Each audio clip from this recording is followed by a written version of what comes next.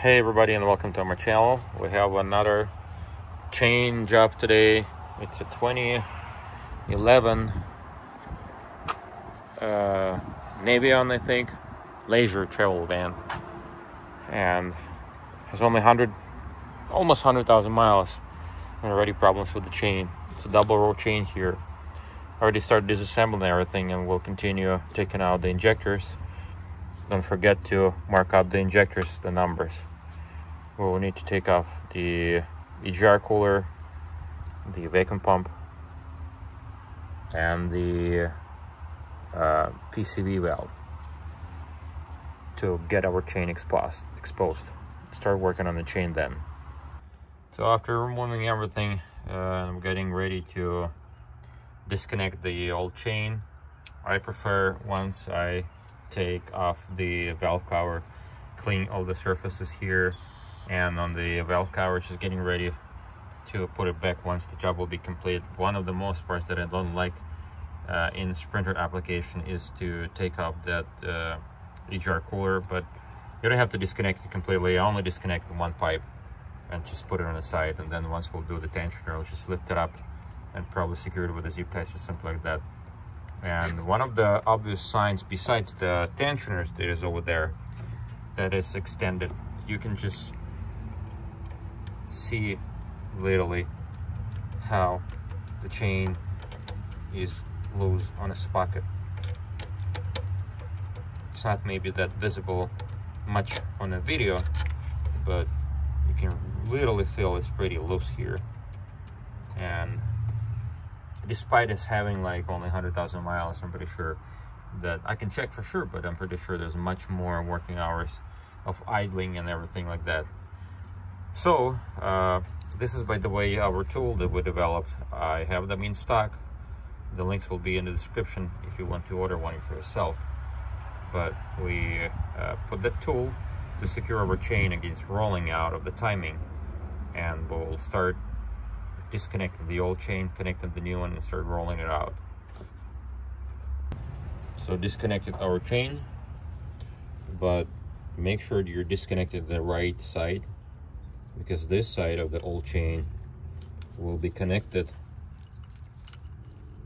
with the link that goes with the chain together. I'm not securing this part. I'm gonna carefully just roll it together.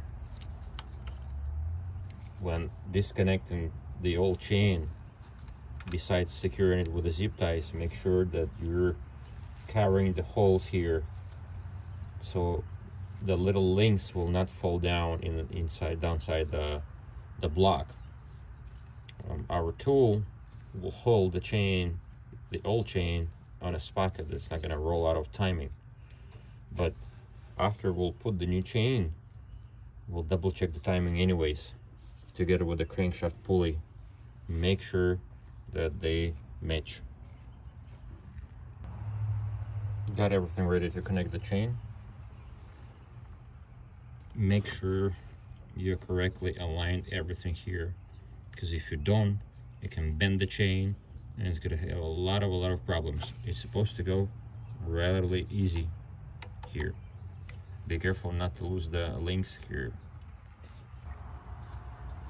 Connected properly and riveted the chain. Supposed to look like this. The corners needs to be flattened here. It's very difficult to do it on the other side. So you have to manage how to get it done. I'm using two hammers and lightly supporting and hammering the corners just to make sure that they will not go loose now after uh, job is done we need to do the most interesting part. It's our chain tensioner. I always replace the tensioner together with the chain. I never replace tensioner without the chain or chain without the tensioner. They all they go together as a pair same as the uh, copper seals for the injectors. So I took off the put inside the intake pipe and with the help of longer long head Milwaukee ratchet gonna carefully put the new tensioner in place tighten it secure and uh, basically assemble everything back. So, yeah, and one more thing that I forgot. We're gonna double check the timing again now. Gonna rotate the crankshaft, put it in a zero position, and check the marks. It's very, very important because even I had a case once that the chain ran out of timing. I don't know how that happened, but it happened. And I assembled, I didn't check the timing. I assembled back together, put the engine on the, on the Sprinter van, and I was not able to start it because it was out of timing. And then it just broke all the rocker arms. So I had to disassemble everything again. Be attentive, be smart, and everything will be good. Stay tuned, subscribe for more.